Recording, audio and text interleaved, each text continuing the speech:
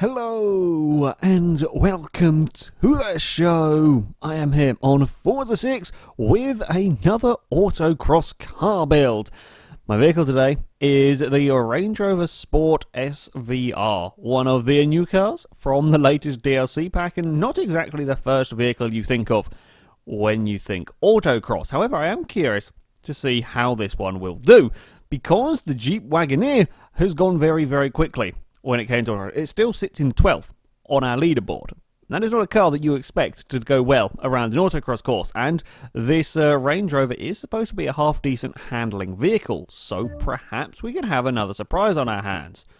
Or it could drive quite a lot like the Bowler and want to be on two wheels for most of the course. That is another big fear with uh, with this vehicle. Now it does start off uh, right at the top of C class. The first thing we're going to want to be doing is tires. We're going to want some nice race tires that jump the PI up massively on here, and we're going to go for some full tire widths, three two fives on the front. It has pretty damn decent sized ones to start with, but uh, three two fives on the front. I'm assuming we'll have the same on the rear because it's four wheel drive. Indeed, we will. Three two fives all round is. Uh, not too bad. Not too bad at all on the vehicle. Uh, there is plenty of power in the uh, Range Rover, certainly 550 horsepower, 500 foot-pounds of torque. It's quite heavy though, and that is a little bit of a concern. So the next thing we're going to do is a weight reduction. Hopefully, now we got 1,100 pounds out of it. It does still weigh 4,000 pounds. That is a, a, a lot of weight. It's up there with quite a Tesla Tesla weight. Uh, it's far heavier. I say it's far heavier. It's about 600 pounds heavier than the Jeep Grand Wagoneer and a fair bit heavier than the Camaro as well. We're going to want some race brakes and race suspension. That jumped the PI up massively. That suspension. We're going to want it though uh, on this vehicle. Uh, hmm, I can't decide whether I want roll cage. I think it probably is a better a, good idea to put the roll cage. While the chassis in this is not bad, certainly, anything that we can do to uh, help it through the corners. I know it's going to add some weight, but I think we're going to want the handling. Basically, we can perhaps get some of that weight off as well with some um, other upgrades. We're going to be wanting downforce parts, most definitely. Again, anything that can possibly... Oh, look at the wing! Haha! the mighty return of the double wings. You don't see them so often on Forza. Forza 4 had huge amounts of them on like hatchbacks and so on. Um, but uh, there we go. That is a... Uh, oh, it is a glorious wing. All right. We've not got much PI to, uh, to play around with. Uh, here we are going to want to put the diff on the vehicle. Now I'm hoping, I don't actually know what, can we do any engine swaps? I'm guessing, oh we can, what can we? Oh, we can put the V12 in it. Okay, so we can have lots of power, potentially, in the Range Rover, but not for this, because it won't keep it in A class, so we will have to stay with the standard engine now. Exhaust, please save me some weight. Eh, it's fifty pounds. It'll do. I will. I will take that. The vehicle is supercharged from standard. Can we? No, we can't get the supercharger. We can't get a, a weight-saving supercharger. Sometimes upgraded superchargers can save a little bit of weight. That is sadly not the case here. Uh, I'm hoping.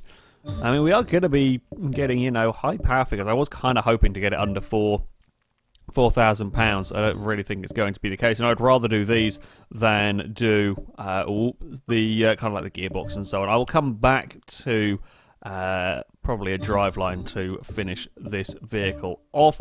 Although the driveline can save a fair amount of weight, yeah, with these uh, large four-wheel drive cars, it saves a huge amount of weight with the uh, top tier ones. Can't fit it in the PI though, so we will go for the uh, the street driveline. 590 horsepower, that's a lot of power and a lot of torque to move around the large bulk of the Land Rover. I don't really have fears about this car when it comes to acceleration at all. It's whether we're going to have the grip to move this much Range Rover through the tight, twisty sections on the autocross course. So, of course, to test out the Range Rover, we have come to the Hockenheim circuit, where it will get three runs through the autocross course. Our current leader is the Renault 5 Turbo with a time of 205.2, and I would be astounded if the Range Rover can well, really get anywhere near that. The Jeep Grand Wagoneer has a time of 206.9, and that is a stupendously fast time for a car around here, especially for that sort of a vehicle. Maybe that is a, a target for the Range Rover. I really have no idea how well this is going to going to handle. We do know that the Jeep is pretty much powered by witchcraft to be able to get around the course as well as it goes. So we will have to wait and see and, and see how this uh, Range Rover fares. If we have got as good a front end grip as we had in the Wagoneer, it's not bad. It's not bad at all through that uh, first gate. How are the brakes? Yeah, brakes do a pretty damn good job of uh, slowing down a mighty Range Rover. The acceleration is quick, not quite as fast as we have seen. That is a really good change of direction through there. The back, if anything, the back end is actually a little bit. Oh, I'm pushing my luck through there.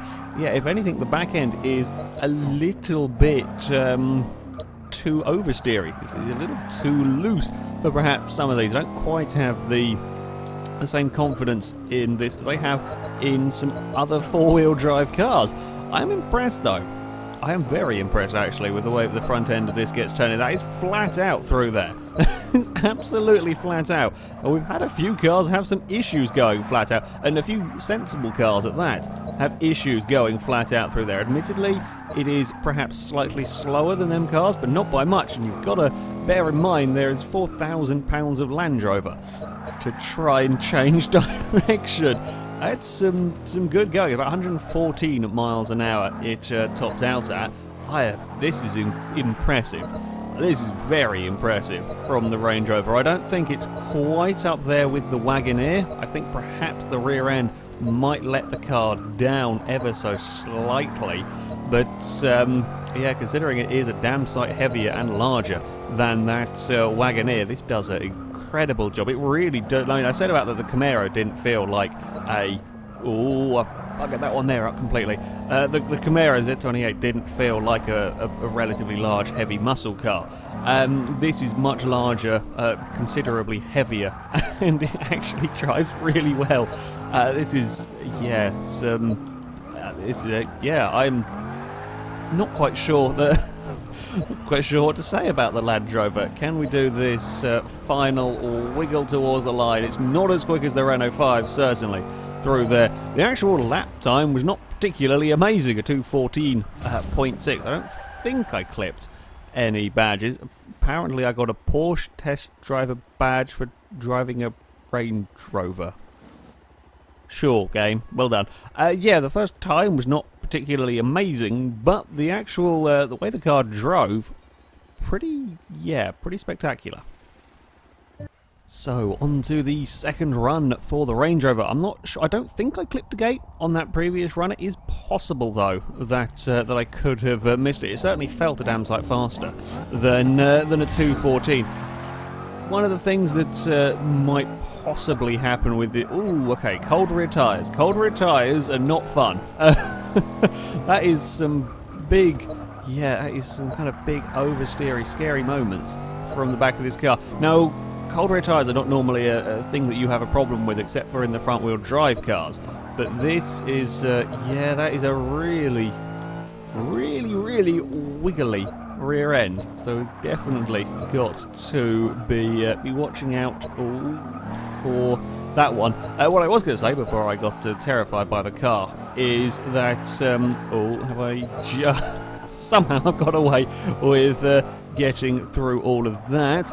Um, I'm losing my train of thought trying to keep a Range Rover on uh, an autocross course. I think one thing that might Oh, oh, we've, we've lost it big time. Oh, I've got a twitch going on. I'm going to save it through that gate there, but only just.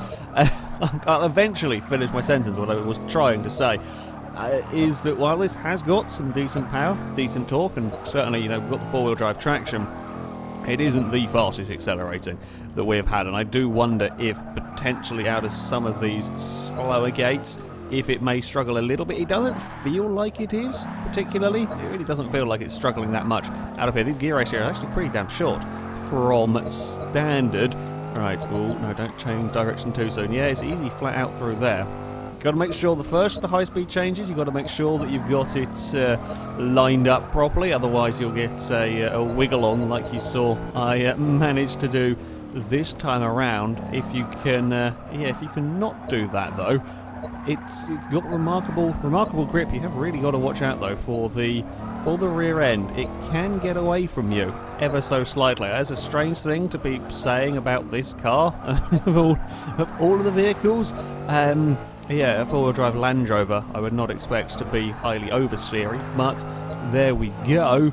Right, it is uh, slow it down for this uh, final section.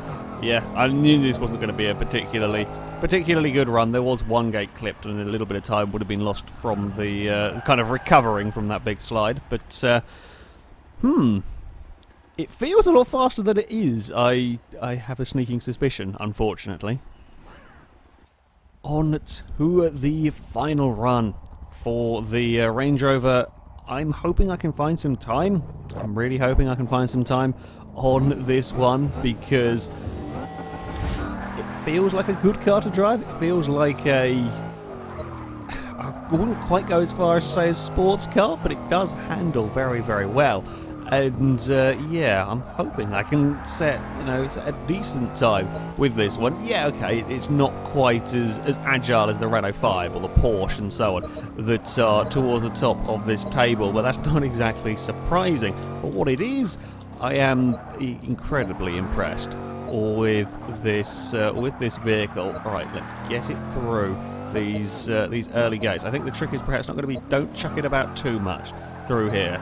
Uh, just don't let the rear the rear get too excited, and we might be able to do okay. I mean, that sort of 70 miles an hour through there is not bad going whatsoever for a Range Rover. We've got a little bit of understeer out wide. Yeah, it's about 114 miles an hour. It's a little bit down on some of the very fastest vehicles. We've seen about 120 from uh, from some cars.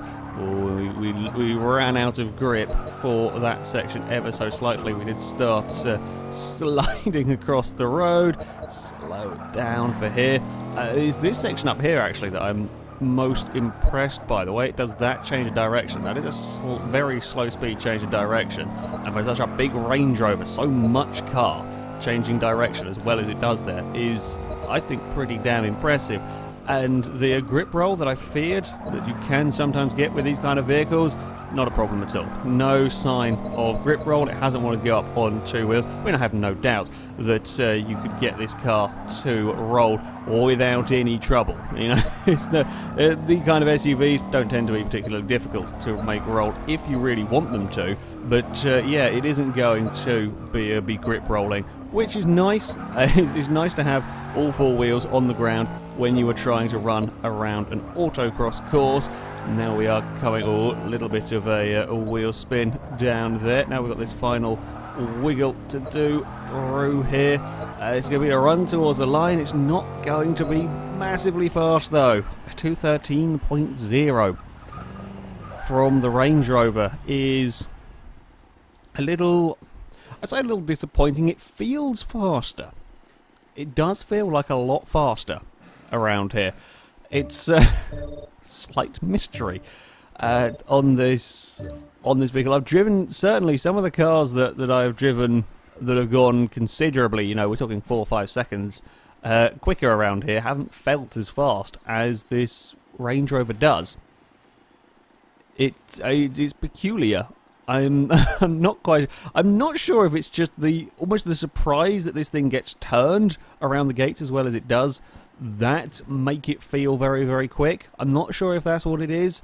Um, because yeah, it feels fantastically fast. It feels really incredible. It's almost sports car esque, and for a giant Range Rover, that is saying something. It really does feel almost sports car esque racing this thing, but it isn't quick.